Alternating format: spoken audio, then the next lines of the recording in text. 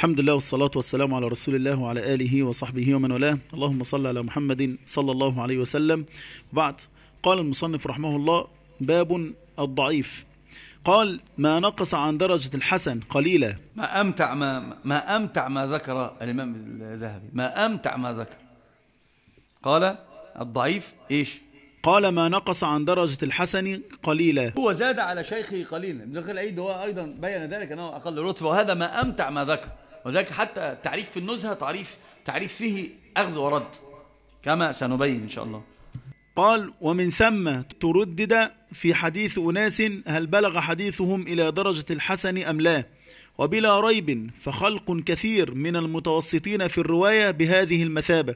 فآخر مراتب الحسن هو أول مراتب الضعيف. نعم يعني خف ضبطه جدا. خف ضبطه جدا. نعم.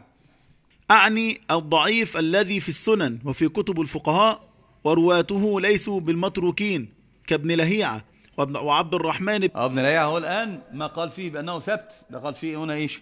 هو ضعيف. أنا قلت لكم أنه ابن لهيعة يترك لأمور ثلاثة الأمر الأول لضعفه الذاتي الأمر الثاني لتدليسه الأمر الثالث لاحتراق كتبه فأضعفته أكثر. لكن الشيخ أحمد شاكر آه، يع- يعني يأخذ بكلام أحمد بن حنبل فيه وبتحسين حديثه يقول بلدي الرجل أعلم إيه؟ أعلم به على أن أحمد بن صالح المصري كان يوثقه. نعم. قال كابن لهيعة وعبد الرحمن بن زيد بن أسلم وأبي بكر بن أبي مريم الحمصي وفرج بن فضالة ورشدين وخلق كثير. نعم جزاك الله خير وخلق كثير. الضعيف. هو عرفه المصنف ما نقص عن درجة الحسن. الضعيف يعني عرفه ابن الصلاح وعرفه العراقي عرفه. وقبله ابن دقيق العيد عرفه وعرفه ابن الصلاح واعتمد عليه والسيوطي والحافظ ابن حجر والتعريفات متقاربة. لكن أمتع التعريفات وأضبط التعريفات تعريف ابن دقيق العيد وهو التعريف الذي تبناه الإمام الذهبي. قاربه تعريف الإمام آه، العراقي. فتعريف وأيضا في البيقونية إحنا درسناها قبل ذلك لو إخوة تتذكر درسناها للنساء. وكانت للنساء صارت لإيش؟ للرجال. وهو آه، كل ما عن رتبة الحسن إيش؟ قصر. الإمام يقول كل ما, ما عن رتبة الحسن قصر فهذا هو هو الضعيف. ولذلك الحافظ العراقي قال أما الضعيف فهو ما لم يبلغ رتبة الحسن. أما الضعيف فهو ما لم يبلغ رتبة أو مرتبة الحسن. وهذا القول حقا هو الذي قاله قبل العراقي قاله من؟ ابن دقيق العيد. هو الذي قاله وقال بأن الحسن هو ما قصر أو الضعيف هو ما قصر عن رتبة الحسن. هو ما قصر عن رتبة الحسن فهو الضعيف. أما ابن الصلاح اللي الجميع من المتأخرين عول عليه كان يقول الحديث الضعيف هو الحديث الذي لم تجتمع فيه صفات الحديث الصحيح ولا الحسن. حديث الضعيف هو الذي لم تجتمع فيه صفات الحديث الصحيح ولا ولا الحسن. وطبعا هذا الكلام فيه مآخذ كثيرة. إيش المآخذ اللي فيها حريص؟ ممتاز لفض فوق. لما يقول بأنه لم تجمع فيه شروط الصحيح ولا الحسن يبقى ده حشو. لأن هو إن لم تجمع لم تجمع فيه شروط الحسن انتهى الأمر. صحيح؟ لكن لو قال لم تجمع فيه شروط الص- الصحيح هينزل لدرجة الإيش؟ الحسن. فيبقى إذا هو الصحيح حسن وإيه؟ وزيادة. الصحيح حسن وزيادة. فيبقى إذا كان الأولى ألا يأتي بإيش؟ بمثل هذه اللفظة. ولكن اعتذر له بعض العلماء ببعض المعاذير لسنا بصدد الكلام على هذا. والحافظ ابن حجر أيضا في النزهة عرف الحديث آه، الضعيف قال كل حديث لم تجتمع فيه أيضا صفات الإيش؟ القبول. كل حديث لم تجتمع فيه صفات القبول. دخل هذا لا يبعد كثيرا عن كلام ابن الصلاح لأن القبول يدخل فيه الصحيح ويدخل فيه إيش؟ الحسن أيضا صحيح؟ يبقى إذا التعريف الصحيح للحديث الضعيف هو ما قصر عن رتبة الحسن. الحديث الضعيف هو ما نزل أو, أو كما قال الإمام الذهبي هو ما نقص عن درجة الحسن. هو ما- ما نزل رتبة عن درجة الحسن. الحديث الضعيف فيه مسألتان. نبين كيفية معرفة أنواع معرفة أنواع الحديث الضعيف إجمالا على التصور على السبورة. وبعدين نتكلم عن المسألة البحث الث- الثاني المسألة المهمة جدا في هذا الباب وهو العمل بالحديث بالحديث الضعيف. طيب. نقول الم- المبحث الثاني وبعدين المبحث الأول ولا عشان؟ خلينا في المبحث الثاني الأول. المبحث الثاني العمل بالحديث الضعيف. العمل بالحديث الضعيف. هذا فيه أقوال. بلغت لخمسة أقوال لكن أنا سأجملها في أقوال ثلاثة. القول الأول القول الأول العمل بالحديث الضعيف ولو في الأحكام حتى. طبعا هذا أنا رددت عليه مطولا في الرد على ممدوح سعيد آه، عندما رد على الشيخ الألباني وقال من قسم الحديث إلى إيه؟ إلى صحيح وحسن وضعيف. فرددت عليه مطولا لأنه أتى بأدلة من الترمذي ومن أبي داود بحديث ضعيفة ويعمل بها. فبينت له أن هذه الحديث ضعيفة لكن العلماء الذين عملوا بها ما ما ما عملوا بها لأنها ضعيفة. هي عندهم إيش؟ عندهم بلغت درجة الاحتجاج بها وهذا نوع من أنواع الرد عليه في هذا الباب. عامة قالوا بأن أحاديث الأحكام يعمل بها حديث ضعيفة يعمل بها أحاديث الأحكام وهذا صراحة مخالف للأصل ومخالف للتشريع لأن الله تعالى قال وما أتاكم الرسول فخذوه منكم عنه فانتهوا. إما أن تستيقن أن هذا من قول سلم أو يغلب على ظنك أنه من قول سلم والضعيف لم يغلب لم يستيقن لم تستيقن ولم يغلب على ظنك. بل غلب على ظنك إيش؟ أنه لم يقل لأنك الآن دخلت في حكم بظن مرجوح بشك وهذا لا يمكن الأحكام لا تبنى على ذلك. ولذلك العلماء قعدوا قاعدة الأحكام فرع على التصحيح. الأحكام فرع على التصحيح. القول الثاني العمل به في الترجيح. يعني يعمل به في الترجيح. يعني إيه يعمل به في الترجيح؟ يعني لو في حديث صحيح وهذا الحديث الصحيح خالفه حديث آخر صحيح. وهذا الأول يقول الحكم حرمة والحكم الثاني حل ويأتي حديث ضعيف بالحرمة. فنقول هذا حديث ضعيف يسند هذا الحديث الصحيح فيجعله راجحا على الحديث الآخر. ما يبقاش فيها تعارض فتساقط ولا تساقط أبدا أستغفر الله لكن أقصد بقول الأصوليين. فيكون هذا من باب الترجيح يرجح حديث على حديث لأنه احتمالية قول وسلم فيها واردة.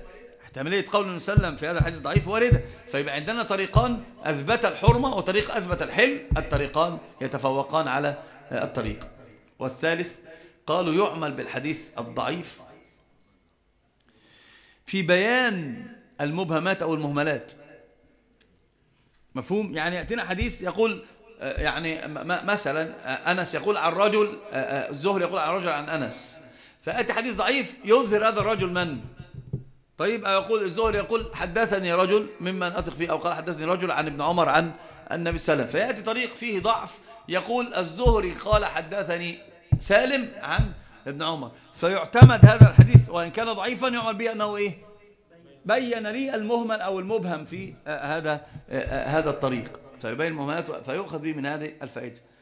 القول الرابع صحيح؟ يعمل به لكن في فضائل الأعمال. يعمل حديث ضعيف في فضائل الأعمال.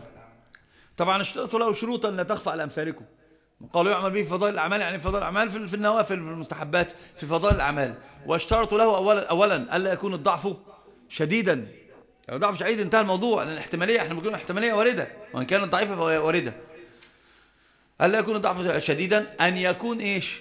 تحت أصل عام. يعني آية عامة حديث عام في هذا الحكم. آية عامة. طيب الثالث ألا يعتقد العامل ثبوته وألا يعتقد الأجر وهذا طبعا فيه ما فيه من النظر لا يعتقد الأجر ما هيعمل ليش.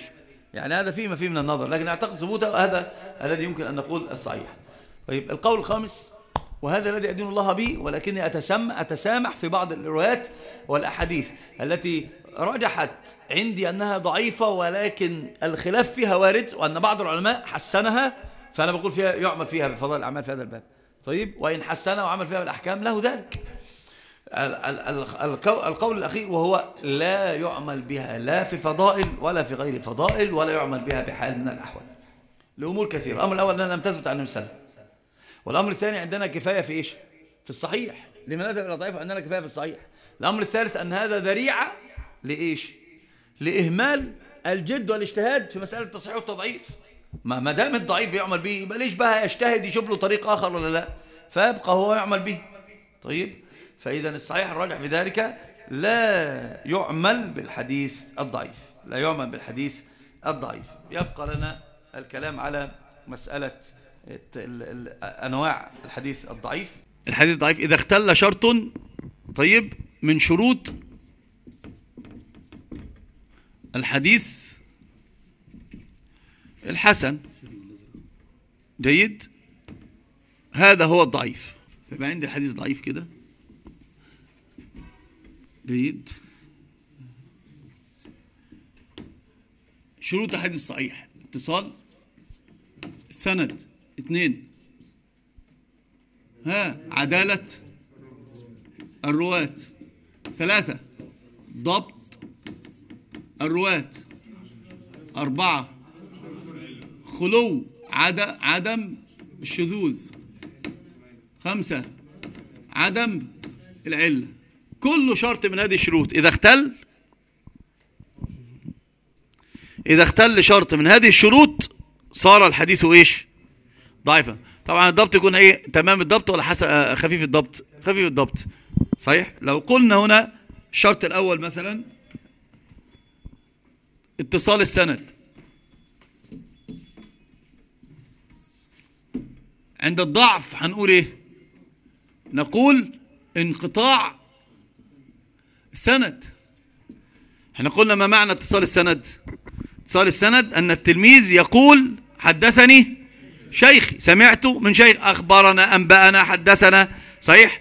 يأتي هنا الاتصال نفي الاتصال معناها الانقطاع. الانقطاع هذا يعني في سقط. معنى الانقطاع هناك سقط. يبقى انقطاع هنا نعمله بين قوسين سقط. السقط ده معناه إيه بقى هنا؟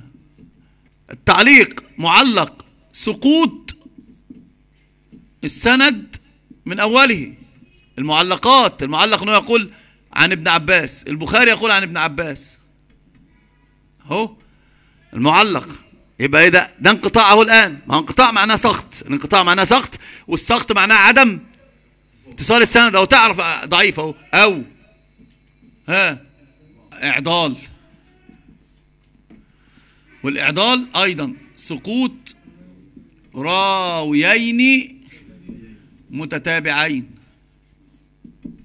نقول هشام عن النبي صلى الله عليه وسلم. وهنا بينه وبينه إيش؟ أبيه عائشة. صح؟ أهو ده اعضال أهو. مفهوم؟ مم، الزهري عن النبي صلى الله عليه وسلم. هنا في سالم وإيه؟ وابن عمر. أهو يبقى ده إيه؟ إعضال. أهو سقط. هذا الضعف. أهو الآن من الشرط الأول الذي اختل. الانقطاع. مالك عن ابن عمر النبي صلى الله عليه وسلم. هذا انقطاع ليش؟ في مين؟ نافع. صحيح؟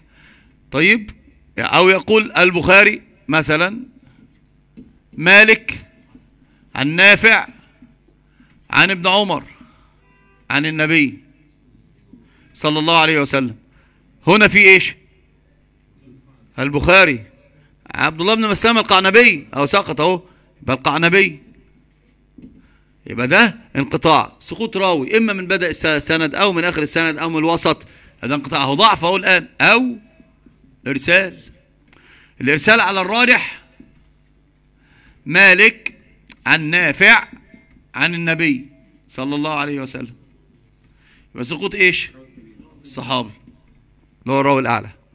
هي يبقى هذه كلها إيش؟ ها؟ بسبب اختلال شرط واحد وهو الاتصال. في شيء هنا مختلف فيه اللي هو إيه؟ تدليس. حديث العنعنة والأنأنة. مختلف فيه. هل ده ضعف؟ مش ضعف. هذا أمر آخر. لكن هو اختل شرط حصل الضعف. هات الشرط الثاني. هو إيش؟ عدالة. يبقى هنا إيش؟ الفسق صحيح والمذهب. والثالث خوارم. مروءة. ماشي بي- بياكل في الشارع.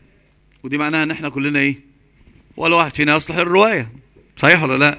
الحمد لله إن العرف يقر بهذا. لأن هو ورد عن ابن نقطة إنه مر عليه بعض الرواة فورد يأكل تمرة على باب البيت. ده من ورا مستخبي على باب البيت. يأكل تمرة. قال تأكل تمرة؟ أما علمت أنهم لو رأوك أين المروءة؟ قال المروءة المروءة ماتت مع الذين ماتوا. ده هذا النقطة ده في الثلاثمائة الأولى. بيقول المروءة مات مع فطبعا معنى ذلك إن إحنا بعض العلماء يقولون انخرام المروءة بعدم غطاء الرأس. ودي معناها إيه يا شيخ كريم الحمد لله.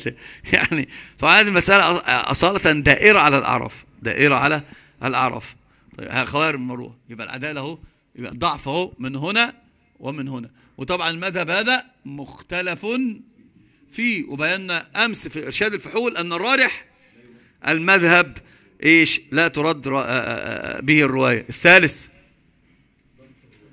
الضبط الضبط يبقى أنا عندي تمام وعندي إيه؟ خفيف. أقل ينتهي. كيف بقى أقل؟ نقول يهم يخطئ. صح كده؟ يخالف. هنا.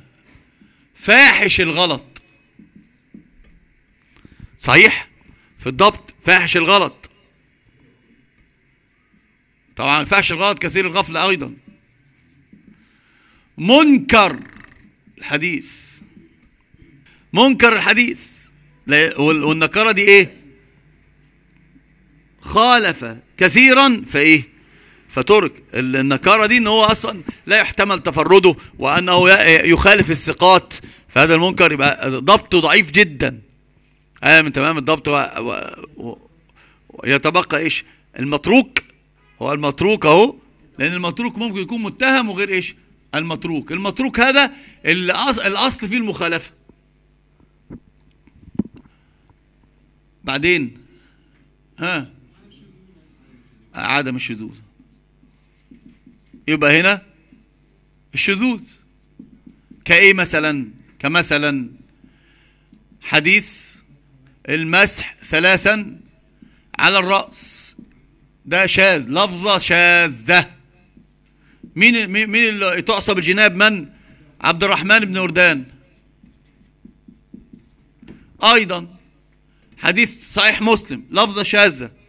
اللي هي إيش؟ لا عندنا لفظتان. اللي هي حديث أنس.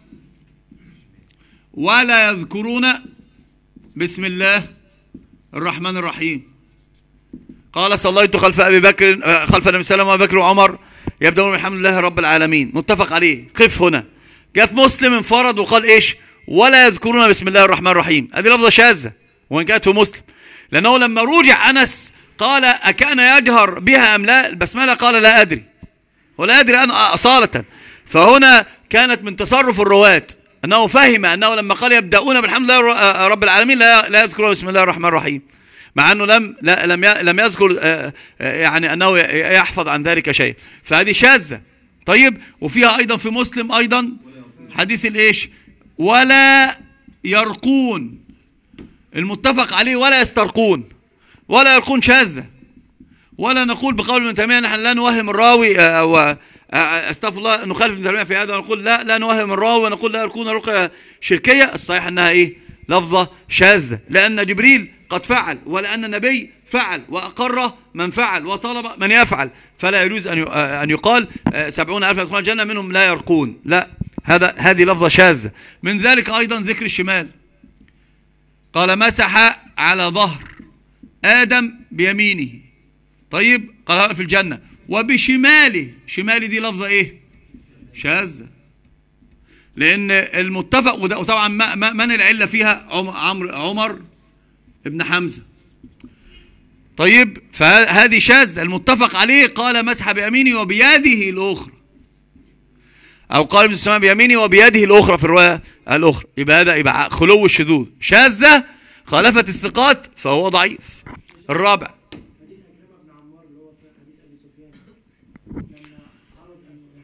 لما